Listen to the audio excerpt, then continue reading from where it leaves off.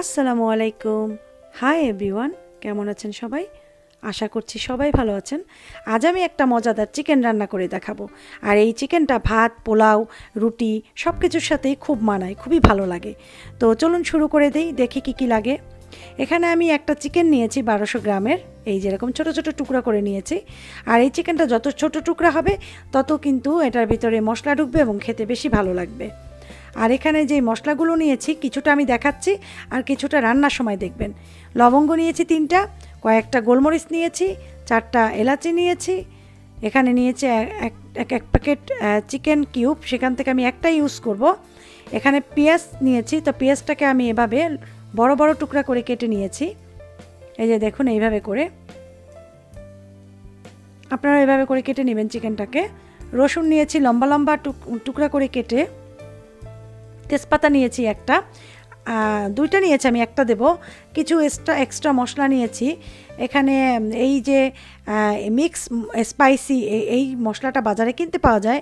আপনারা এটা দিবেন, এটা দিলে আর একটু টেস্ট লাগে। আর যাদের কাছে নেই, তারা না দিলেও চলবে। সয়া সসটা মাস্ট লাগবে। সয়া সসটাই মেইন এই রান্নাটার। কাজে সয়া সস বাদ দিতে পারবেন না। তাহলে চলুন শুরু করে দিই। প্রথমে আমি তেল দিচ্ছি। তো এখানে আমি তেল দিচ্ছি চার টেবিল চামচ পরিমাণের।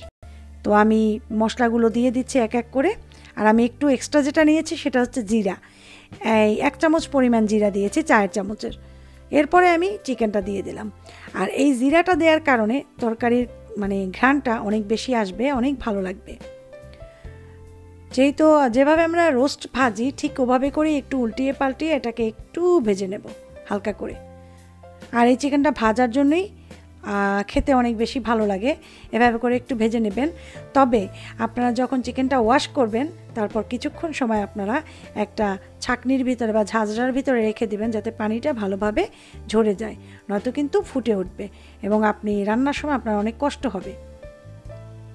এখন আমি একটু ভালোভাবে নাড়াচাড়া করে রসুন কুচি আর পেঁয়াজ কুচিটা দিয়ে দিচ্ছি। এটা দিয়ে একটু সময় একটু ভাজাভাজি করব যাতে পেঁয়াজ আর রসুনটা একটু নরম হয়ে যায়। কারণ সাধারণত আমরা এক ধরনের রান্না খেয়ে থাকি। বাংলাদেশি স্টাইলে ভুনা মুরগি, দো পেঁয়াজু, এরকম, সেরকম। তো এত মানে মানুষ কিন্তু ভ্যারাইটিস খাবার সবাই পছন্দ করে। তাই বললাম, এইটা একবার খেয়ে দেখবেন, খুবই ভালো লাগে। এখন আমি আরও কিছু মশলা দিচ্ছি। যে স্পাইসি মিক্স স্পাইসি মশলাটা ওটা দিয়ে দিলাম। আর যাদের কাছে এটা নেই, হাতের কাছে একদম, তারা এটা না দিলেও চলবে।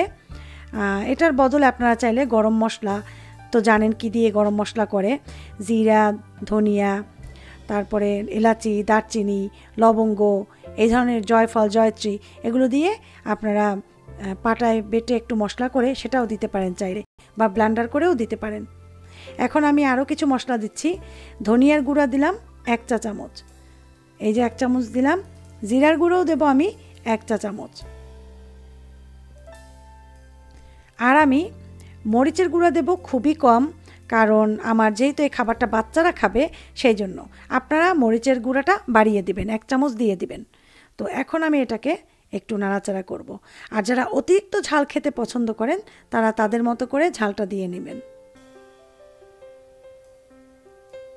আর এই রান্নাটা বড়রা, বাচ্চারা সবাই খুব পছন্দ করে এবং পছন্দ করে খাবে। কারণ আমি দেখেছি এই রান্নাটা করে যে বড়রাও যেমনি লাইক করে, ছোটরাও তেমনি অনেক পছন্দ করে। তো আমি একটু লবণ দিয়ে দিচ্ছি। তো লবণের পরিমাণটা একটু কম দিবেন, যেহেতু আমরা এখানে সয়া সস ইউজ করব। আবার চিকেন কিউবটাও ইউজ করব সেই জন্য লবণটা আমরা একটু বুঝে শুনে দেব। নয়তো কিন্তু অনেক লবণ কাটা হয়ে যাবে। তো বেশ কিছুক্ষণ এভাবে নাড়াচাড়া করে আমি টমেটো দিয়ে দেবো এটার ভিতরে। তো আমি এখানে বড় দুইটা টমেটো নিয়েছি। তো আমি টমেটো দুটো দিয়ে দিচ্ছি। এখন আবার একটু নাড়াচাড়া করব। আর এটা ভিতরে বেশি পানি দেব না আমি, কারণ টমেটোর থেকে অনেক পানি বের হবে, সেজন্য আমি অল্প পানি দিয়ে এটাকে রান্না করব। এটা একদম কিন্তু ভাজা ভাজা মাখা মাখা হবে। এখন আমি একটা চিকেন কিউব ভেঙে দিয়ে দিলাম এটার ভেতরে। আর এই চিকেন কিউবটা দেওয়ার কারণে এবং সয়া সস দেওয়ার কারণেই এই রান্নাটা অনেক বেশি টেস্টি হবে। আমি এক টেবিল চামচ সয়া সস দিয়ে দিচ্ছি, এটা ডার্ক সয়া সস। ডার্কটা দিলেই ভালো লাগে দেখতে কালারটা। যাদের কাছে না থাকবে তারা লাইট সয়া সসটাই দিয়ে নেবেন।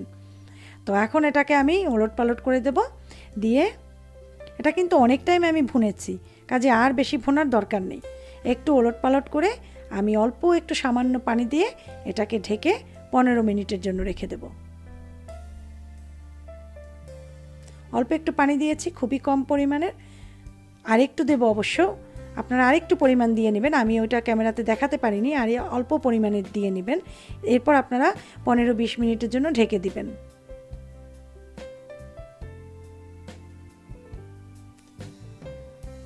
তো পনেরো মিনিট রাখ, রেখেছি এবং চুলার আঁচ আমি কমিয়ে দিয়েছিলাম, এখন একটু বাড়িয়ে দিয়েছি।